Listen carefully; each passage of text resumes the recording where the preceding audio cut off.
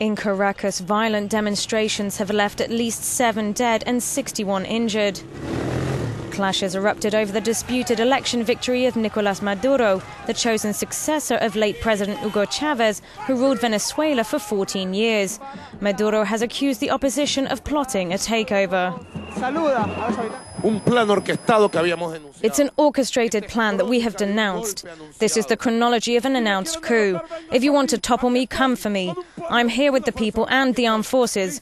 Do what you have to do, little petty bourgeois. Burgués. Burguesito.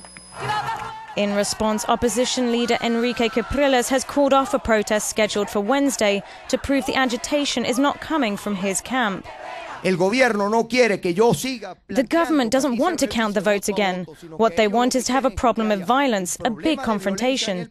They want Venezuela to be seen in the rest of the world as a country in a violent conflict, and so they won't be obliged to answer our demands. o una situación de violencia y no el fin por el cual estamos nosotros aquí. According to the Electoral Authority, Maduro won by a slim 1.6% margin, and a recount has been ruled out. Capriles has called for talks with the government to resolve the crisis gripping the oil rich nation.